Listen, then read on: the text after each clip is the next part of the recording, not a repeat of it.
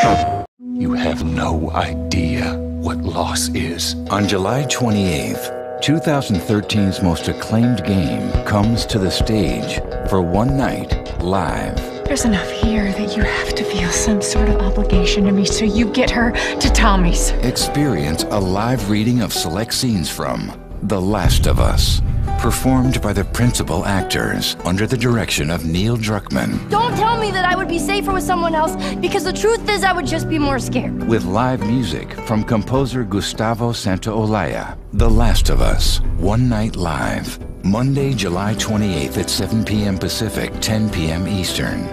Live from the Broad Stage in Santa Monica.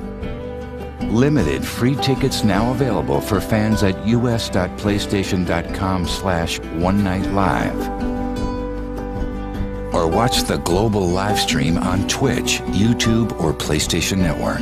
After all we've been through, everything that I've done, it can't be for nothing.